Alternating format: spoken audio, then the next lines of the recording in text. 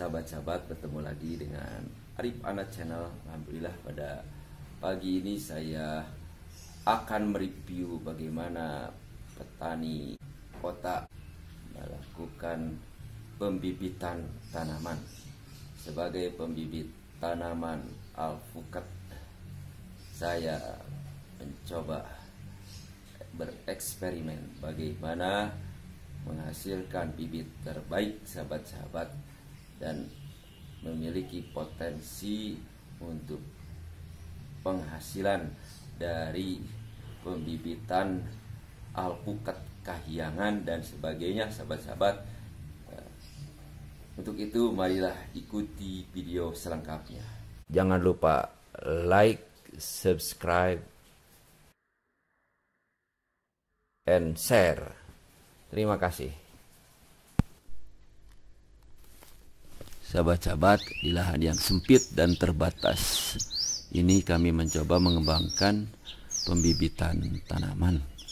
Antara lain alpukat kahyangan, sahabat-sahabat. Ini biji-biji alpukat yang sudah ada di polybag, sahabat-sahabat. Dan disusun di tatakan hewan ini seperti ini sahabat-sahabat biji-bijinya. Ini biji diperoleh secara online. Ya, tinggal pesan sahabat-sahabat. Nah, seperti ini sahabat-sahabat.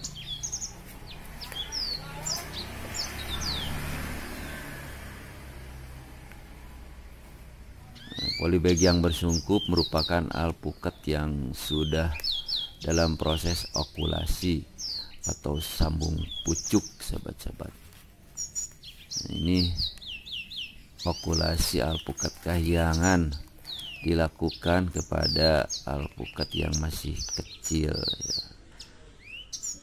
ya kami melakukan proses okulasi pada okulasi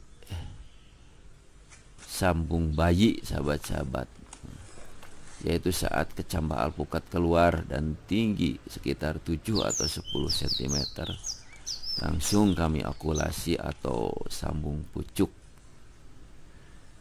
Dan lumayan cukup efektif sahabat-sahabat. Keberhasilan sekitar 90 persenan sahabat-sahabat. Nah ini yang sudah tersungkup ini merupakan bibit yang sudah kami okulasi sahabat-sahabat. Nah jenisnya ini rata-rata alpukat kahyangan. Namun ada juga alpukat kendil di antaranya sahabat-sahabat. Untuk memperbesar bibit kami menggunakan tatakan hewan yang fungsinya untuk menjaga kelembaban media yang ada di polybag. Ini sahabat penempatan bibit nah, kami menggunakan carport gerasi mobil saja begitu. Karena memang lahannya sempit ya. Lahan di perkotaan ya, sempit.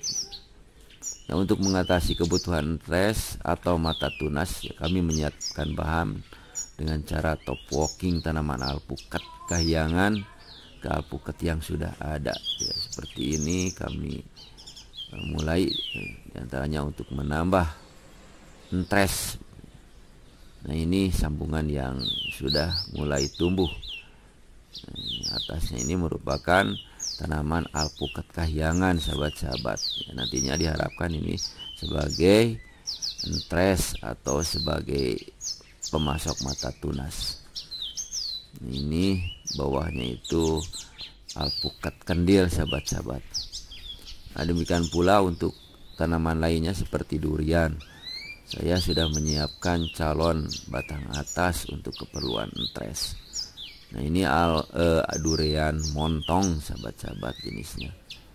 Nah, bunganya cukup banyak sekarang. Ya, mudah-mudahan ini menjadi buah sahabat-sahabat. Dan ini berpotensi menghasilkan bibit cukup banyak sahabat-sahabat. Nah, tentu tinggal menyiapkan batang bawahnya ya, atasnya sudah disiapkan. Jadi sahabat-sahabat di perkotaan jangan khawatir. Gunakan spesies yang sedikit itu dengan dioptimalkan.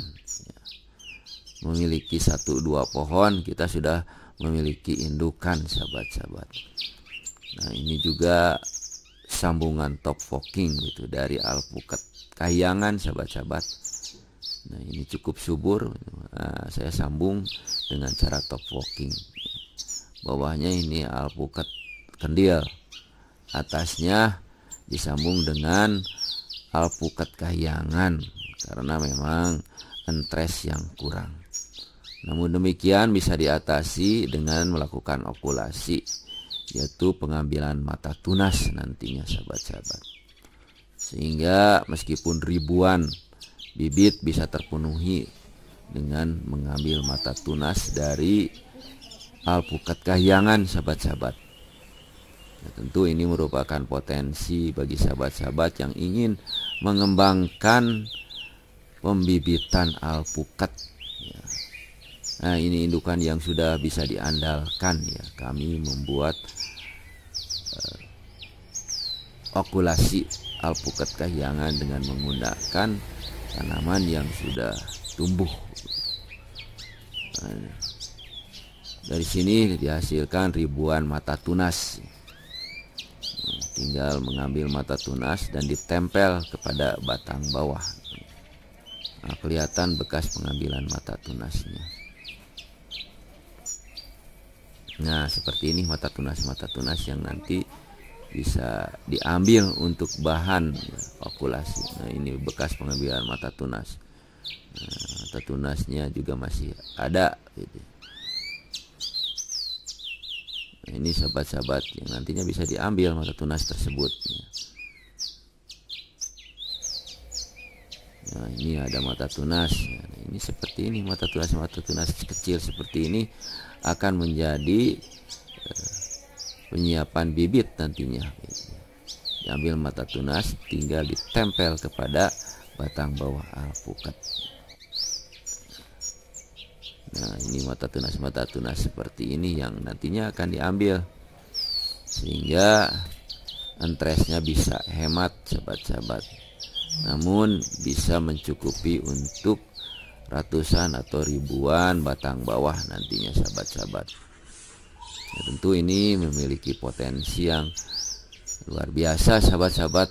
Kalau kiranya kita ingin mengembangkan pembibitan. Nah, ini bekas pengambilan mata tunas mata tunas ya. Mata tunas seperti ini nantinya jadi satu bibit sahabat-sahabat. Nah, itu masih ada kelihatan mata tunasnya. Nah mata tunas seperti ini. Sahabat-sahabat ya nah banyak mata tunas yang akan muncul dan ini akan menjadi bibit berikutnya.